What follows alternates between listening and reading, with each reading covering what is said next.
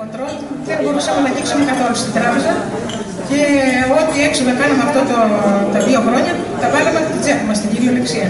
Ελπίζω να μπορέσουμε σύντομα γιατί έχουμε ε, κάνει μεγάλες προσπάθειες να μπορέσουμε να απελευθερώσουμε το λογαριασμό μας και να μπορέσουμε να κάνουμε μια εκδρομή να σας κεράσουμε μια ραχή. Γιατί εμείς ε, όλα τα χρόνια αυτός ήταν ο στόχος μας. Να κάνουμε όσο μπορούμε πιο καλή την παρέα των μεσαριτών. Όταν ερχόταν κάποιος, περηφανευόταν για το καλό επίπεδο και για τη φιλοξενία μας και για την αγάπη που είχαμε μεταξύ μας.